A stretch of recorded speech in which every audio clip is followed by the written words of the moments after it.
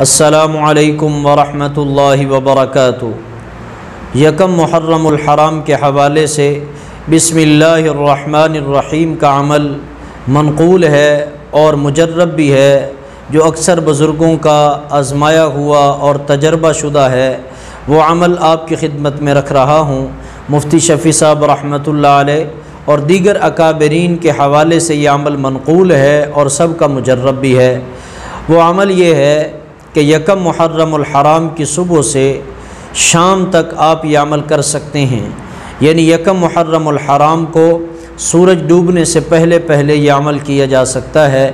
کرنا کیا ہے کہ کسی کاغذ پر ایک سو تیرہ دفعہ بسم اللہ الرحمن الرحیم کو لکھنا ہے اور پھر لکھ کر اپنے پاس محفوظ کر لینا ہے۔ اور اس کو گھر میں ایسی جگہ پہ رکھیں جہاں آپ کا اکثر اٹھنا بیٹھنا اور وہاں پہ رہنا ہے، تاکہ اس پہ نظر بھی پڑتی رہے اور وہ وہاں محفوظ رہے، موجود رہے۔ اس کی برکات یہ ہیں کہ سارا سال رزق کی تنگی انشاءاللہ کبھی نہیں آئے گی۔ اور انشاءاللہ اللہ پاک بڑی مصیبتوں سے، بلاؤں سے اللہ کریم آپ کو، آپ کے اہل خانہ کو محفوظ فرمائیں گے۔ تو یہ ایک سو تیرہ دفعہ بسم اللہ الرحمن الرحیم لکھیں۔ اور شام کے سورج ڈوبنے سے پہلے پہلے، شام سے پہلے پہلے یہ لکھ لیں اور اپنے پاس محفوظ کر لیں۔ اگر خراب ہونے کا خطرہ ہو تو لیمینیشن کروا لیں۔ اور کسی گھر کے ایسے جگہ لگا دے جہاں بے ادبی بھی نہ ہو، اور وہاں آپ اکثر اٹھتے بیٹھتے اور وہاں آپ رہتے ہوں، اپنے پاس رکھیں غرض یہ کہ اگر آپ کا کوئی بریف کیس ہے، کوئی سیف الماری ہے، آپ اس کو اکثر کھولتے ہیں تو آپ اس جگہ پہ بھی اس کو لگا سکتے ہیں۔ یعنی بے ادبی بھی نہ ہو اور آپ کی نظروں کے سامنے بھی رہے۔ تو یہ عمل ضرور کریں۔ انشاءاللہ سارا سال رزق کی تنگی نہیں آئے گی۔ برکات سے آپ جو ہے مستفید ہوتے رہیں گے۔ فیض یاب ہوتے رہیں گے۔ باقی کچھ لوگوں کا یہ اعتراض ہوگا کہ یہ کیسا عمل ہے، یہ حدیث سے تو ثابت نہیں ہے۔ بھائی، اس عمل کو نہ فرض سمجھیں، نہ واجب سمجھیں، نہ سنت سمجھیں۔ یہ ایک بزرگوں کا عمل ہے بسم اللہ کی برکت سے۔ تو بسم اللہ کی برکات ہیں، اس میں کوئی شک نہیں ہے۔ چنانچہ اس کے ضمن میں میں ایک واقعہ آپ کے سامنے عرض کرتا ہوں۔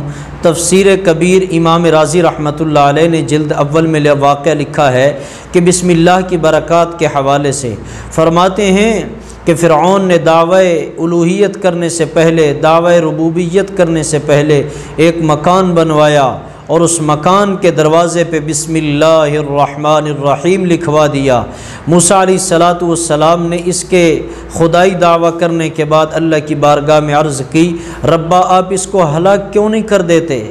یہ تو آپ کا سخت دشمن بن چکا، دعوی الوحیت کر چکا۔ اللہ جی آپ اس کو ہلاک کر دیجیے۔ کیوں ہلاک نہیں کرتے؟ اس کو گھر میں تباہ و برباد کر دیجیے۔ میرے اللہ نے فرمایا، میرے موسیٰ، اس ظالم کو ہلاک تو کر دوں۔ کام ایسے ہیں کہ ہلاک ہو جائے۔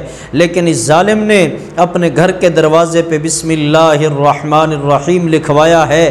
میں اللہ کا نام سجایا ہے۔ بس اس کی برکت سے یہ عذاب الہی سے بچا ہوا ہے۔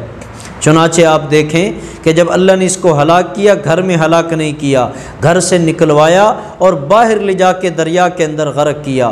سبحان اللہ، اگر ایک کافر اور ظالم اپنے دروازے پہ بسم اللہ لکھ کے عذاب الہی سے محفوظ ہو سکتا ہے، تو ایک مسلمان اگر اپنی زبان پہ، اپنے دل میں بسم اللہ کو سجا لے اور اس کو اپنا ورد بنا لے، تو وہ کیسے جو ہے وہ اللہ کے عذاب سے محفوظ نہیں ہے